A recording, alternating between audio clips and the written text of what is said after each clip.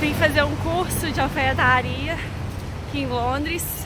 O curso começa terça-feira, que é, hoje é sábado. Hoje nós vamos explorar mais, cheguei ontem. Eu vou filmar um pouquinho e contar mais do meu curso nesses 20 dias que eu vou ficar aqui.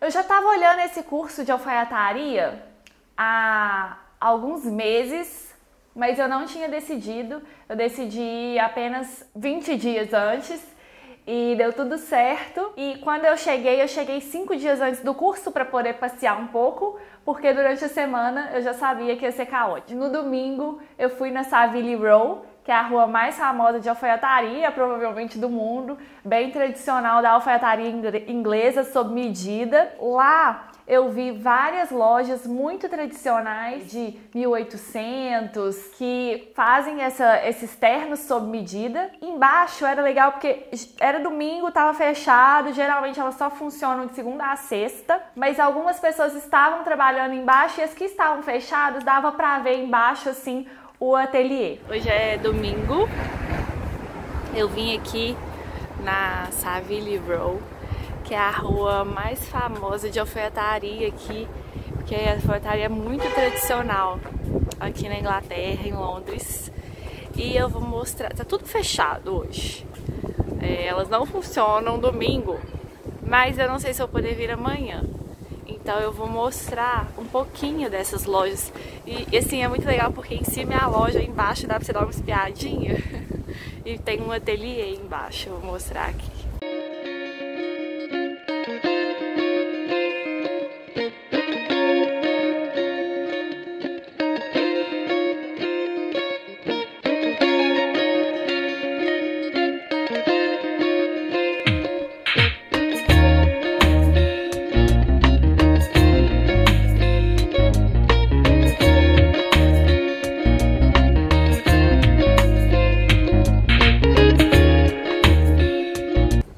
É o Buckingham Palace, o Palácio de Buckingham.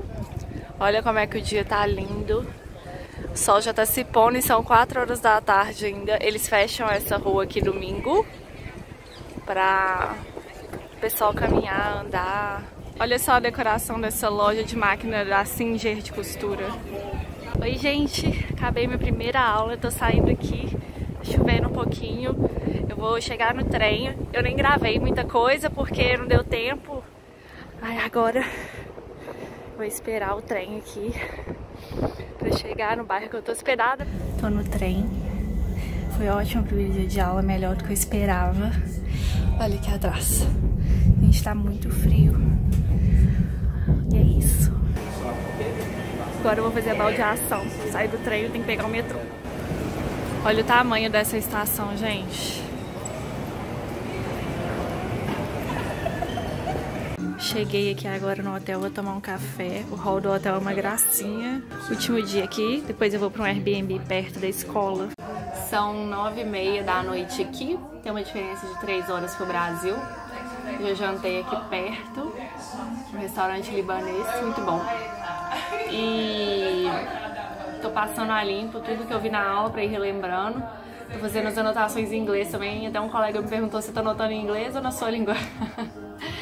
falei que inglês, porque fazer aula em inglês e voltar em português me dá uma confusão, assim. Melhor eu me fazer uma imersão mesmo. E tô, eu trouxe um caderno, tô passando a limpo, mas eles dão um caderno lá, olha. Bonitinho demais. No segundo dia de curso, acho que como eu tinha trocado, eu tinha passado de um hotel que era numa área bem turística, bem movimentada, eu tinha trocado pro bairro do curso, que depois acabou, ficou excelente, porque eu demorava três minutos a pé para chegar, e no hotel eu precisava pegar um metrô e um trem no horário de pico, e então foi bem melhor, mas no primeiro dia que eu troquei, eu tava assim, ai, o bairro era bem residencial, tudo fechava às 5 horas da tarde, talvez por causa do inverno, não sei, e eu não tava ainda acostumada curso era de 9 às 4, o tempo inteiro em pé e prestando atenção, trabalhando muito intenso. E aí, meu, no segundo dia, eu acho que eu ainda tava pegando o ritmo, sabe? Me deu uma cansada assim, talvez por não estar tão acostumada com o frio. E aí eu cheguei quando você sai 4 horas da tarde, já tava praticamente escuro à noite. E aí esse dia eu acho que eu cheguei 5 horas, eu dormi até o dia seguinte, recuperei, pois eu bem peguei o jeito. A rotina foi porque eu não tava só como turista, eu tava realmente tendo uma rotina ali naquele lugar.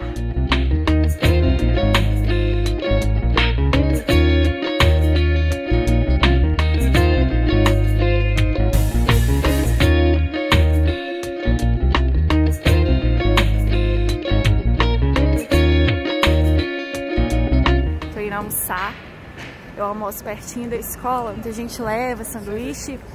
Ontem eu mudei, vim para pertinho da escola, mudei de um Airbnb. Ontem tava muito frio, à noite eu nem filmei nem nada, tava bem desanimada assim. Por causa que você chega 4 horas, já tá parecendo 10 da noite e tava muito frio. E aí eu tava, ai, lá no hotel eu tinha um espaço, aquele espaço do hall e tal. Era gostoso e agora eu tô só num quarto no Airbnb. Nada, nada, nada reclamar absolutamente. Só que a gente não tá acostumado, né? Porque é de, de, é de 10, só que ele pediu pra eu chegar mais cedo, então eu cheguei quase 9h20, 9h15, até 4 e a gente fica em pé praticamente o tempo inteiro, então eu tava bem cansada, não tô acostumada com frio. E aí ontem me bateu um cansaço.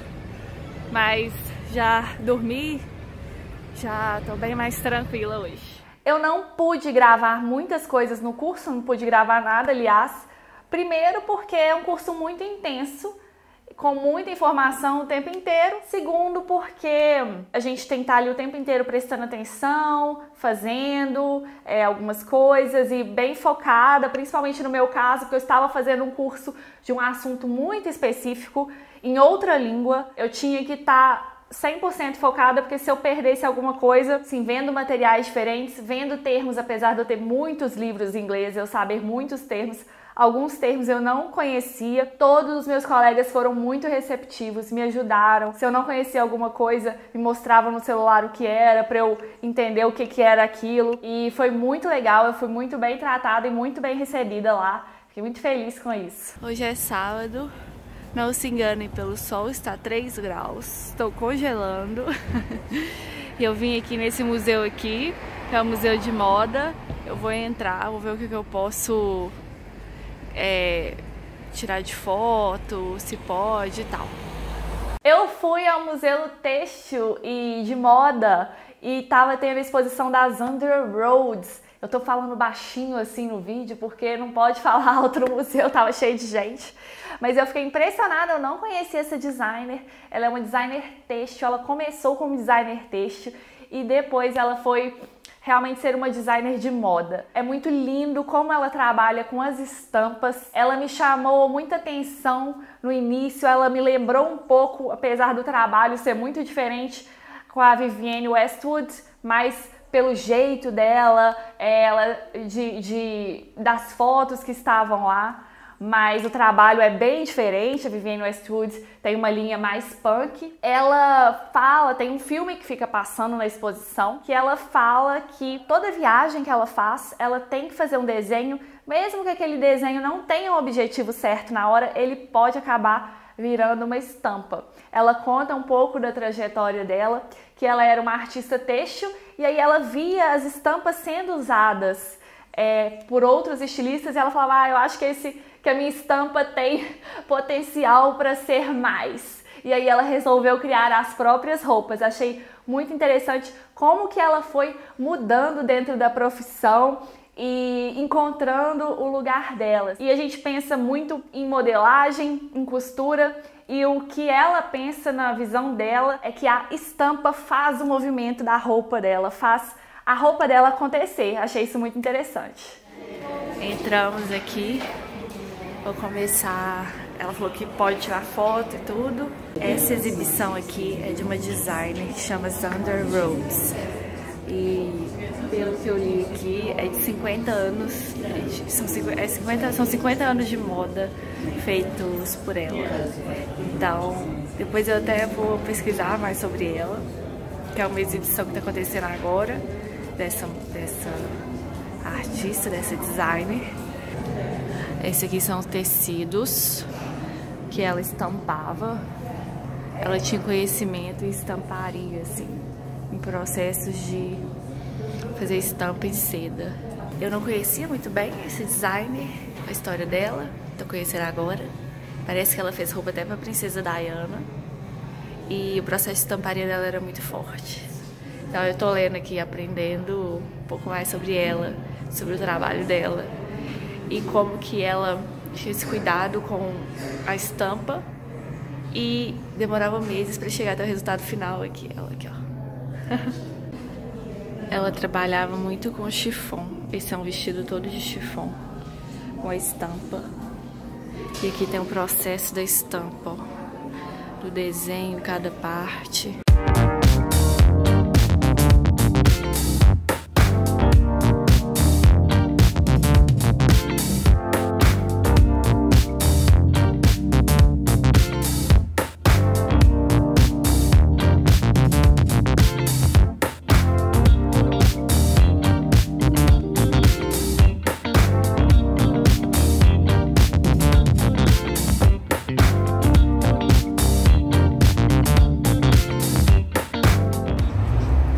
Domingo, tô aqui no, em Notting Hill, que era, foi o cenário daquele filme um lugar chamado Notting Hill. E tem um mercado muito legal aqui que chama Porto Belo, que tá até pra lá filmar mais. Tem muita loja aqui, muita, e muito, muita feira de roupa também. Uma coisa interessante, isso aqui é uma loja num shopping, tem muita loja de reparo, ó. Muita. Tipo assim, eu já vi inúmeros. E elas lavam, é meio que uma lavanderia, faz reparos, alterações. Muitas lojas assim. Agora eu tô em Shoreditch. Olha que legal, aqui tem um tanto de lojinha uma do lado da outra. Eu tô aqui no Victoria and Albert Museum. Tem uma exposição da Mary Quant. Vou assistir, vou, vou ver, quer dizer. vou mostrar um pouquinho. Os museus ficam abertos até mais tarde nas sextas e eu fui no Victoria and Albert Museum, que é um museu que tem várias coisas, só que estava tendo uma exposição da designer Mary Quant e ela é uma designer britânica também, muito renomada, que é principalmente porque ela foi uma designer de vanguarda nos anos 60 e 70. Vanguarda que eu disse que ela que eu digo ela revolucionou a moda da época. Ela criou a mini saia, então ela mudou um pouco o jeito das mulheres se vestirem na época e também criou a hot pants que voltou hoje, né? Que a gente usa debaixo de uma saia mais transparente, de algum tecido, é aquela aquela aquele short mais curto parecendo um colã. Achei tudo lindo, lindo, lindo.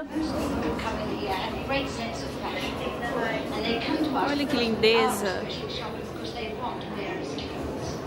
ela que foi muito precursora desse, da mini saia, desse estilo dos anos, dos anos 60. Olha que lindo esse. Amei. Olha aqui ela com ele. A pence ali. De busto. Maravilhoso. Todas as casas, aquele tipo bolso, aquela casa embutida.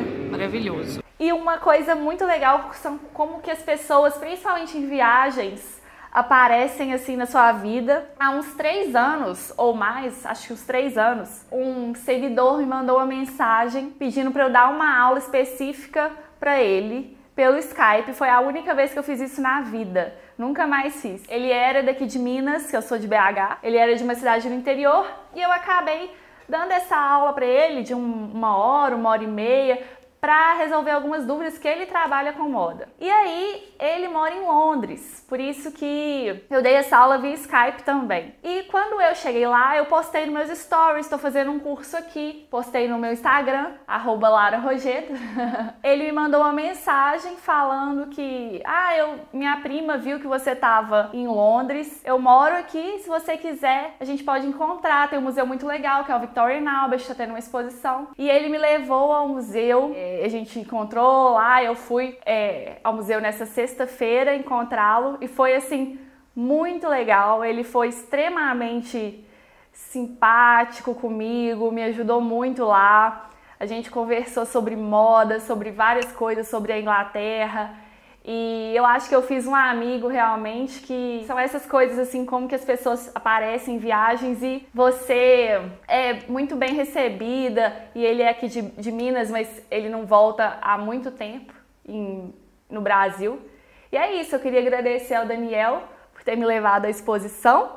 Provavelmente sem ele eu não teria ido à exposição. Muito obrigada mesmo.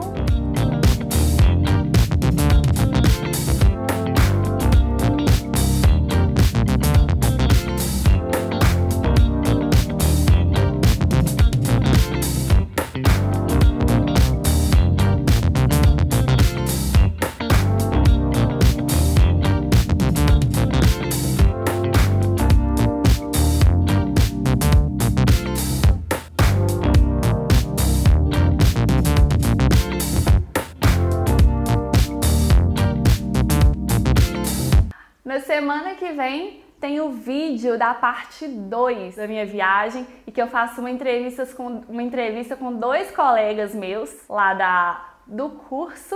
Eles me convidaram para ir ao ateliê deles, que foi muito legal. O trabalho deles é assim lindo, encantador, inspirador. Fiquei apaixonada e eu conversei um pouquinho com eles sobre como eles sendo é, dois jovens adultos trabalhando com alfaiataria, como que eles viam a alfaiataria e a moda sob medida, principalmente no país deles, que eles são ingleses. Então, semana que vem, a parte 2. Até lá!